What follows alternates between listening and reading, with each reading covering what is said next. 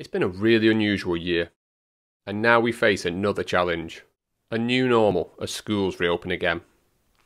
This guide will hopefully give you some advice and pointers to help you navigate this next step so you can be amazing when you go back to school.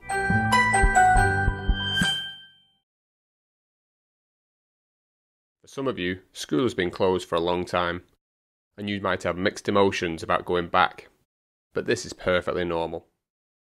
We want you to be confident, happy, safe, and successful. Having spoken to lots of pupils, parents, and teachers, we know that you have had your ups and downs. However, you have felt, you are not alone. Your friends and family have all been going through this. It's something we've all had to deal with together. You might be ready and happy to go back to school. But it's important to remember that it's okay not to be okay, and that it's good to talk. Here are my top tips so you can be amazing when you go back to school. Tip number one it's good to talk. We all struggle or feel funny at some point, so make the most of the team of support around you at home and in school. Tip number two keep exercising.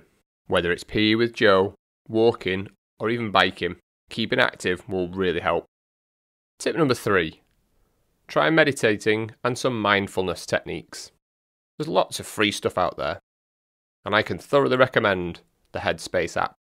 It's amazing how much of a difference it can make doing a bit of meditation, some yoga stretches, or even just taking a time out for yourself and doing some deep breathing. Tip number four get into a good sleep routine. You feel so much better after a good night's sleep, and getting up at the same time each day can really help as well. Tip number five get your five a day. Lots of fruit, veg, and water can help boost your mood and improve your health.